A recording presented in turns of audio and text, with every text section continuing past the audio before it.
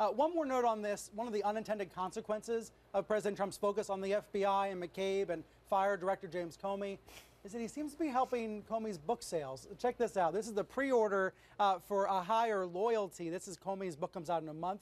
It's already number two on Amazon, even though the book is still not out. Uh, I think this has a lot to do with the president's tweet yesterday. Comey responded to the president by saying, The American people will hear my story very soon, and they can judge for themselves who is honorable and who is not. So Comey's book, number two on Amazon, number four on Barnes & Noble. Jeff, I think it's a repeat of Fire and Fury. The president's angry, anger at Michael Wolff actually helped sell copies of Michael Wolff's book. Yes, and you, you know what it takes to be, I mean, Michael Wolff's book is unprecedented. It might have sold as many as a million copies, but 61 million people voted for Donald Trump.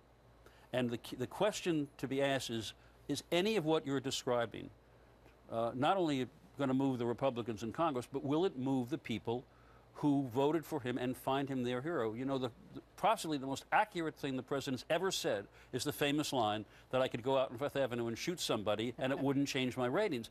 And at times I almost think he's trying to semi test that theory. Hmm. And so far, one of the questions I would ask my colleagues, anybody else, is what could Trump do that would make his base say, ah, uh, maybe not?